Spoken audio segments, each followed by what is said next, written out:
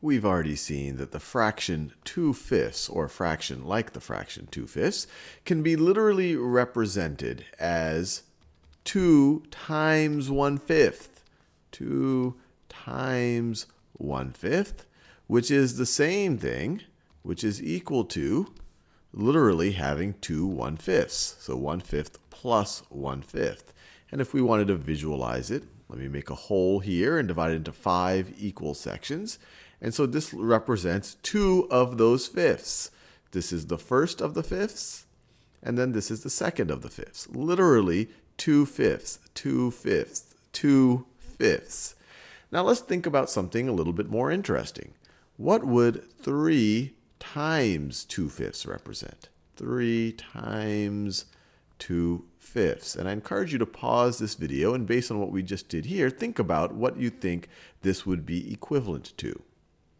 Well, we just saw that 2 fifths would be the same thing as, so let me just rewrite this as instead of 3 times 2 fifths written like this, let me write 2 fifths like that. So this is the same thing as 3 times 2 times 1 fifth. 3 times 2 times 1 fifth times 1 fifth. And multiplication, we could multiply the 2 times the 1 fifth first and then multiply by the 3. Or we could multiply the 3 times the 2 first and then multiply by the 1 fifth. So you could view this literally as being equal to 3 times 2 is, of course, 6. So this is the same thing as 6 times 1, 6 times 1 fifth. 6 times 1 fifth. And if we were to try to visualize that again, so that's a whole that's another whole. Each of those wholes have been divided into five equal sections.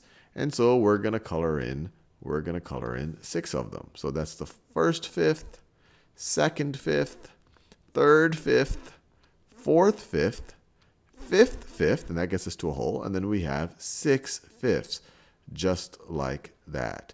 So literally 3 times 2 fifths can be viewed as 6 fifths.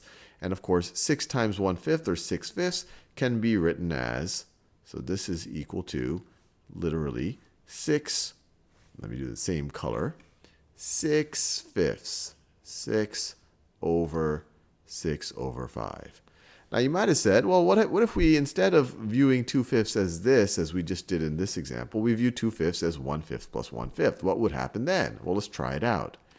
So 3 times 2 fifths, I'll rewrite it, 3 times 2 fifths, 2 over 5, 2 fifths, is the same thing as 3 times, 3 times 1 fifth plus 1 fifth. 2 fifths is the same thing as 1 fifth plus 1 fifth. So 3 times 1 fifth plus 1 fifth, which would be equal to, well, I just have to have literally three of these added together. So it's going to be 1 fifth plus 1 fifth plus 1 fifth plus 1 fifth plus, I think you get the idea here, plus 1 fifth plus 1 fifth. Well, what's this going to be? Well, we literally have 6 fifths here. We could ignore the parentheses and just add all of these together. We once again have 1, 2, 3, 4, 5, 6 fifths. So once again, this is equal to 6 fifths. So hopefully this shows that when you multiply that 2 fifths we saw already represents 2 1 fifths. We already saw that, or 2 times 1 fifth. And 3 times 2 fifths is literally the same thing as 3 times 2 times 1 fifth. In this case, that would be 6 fifths.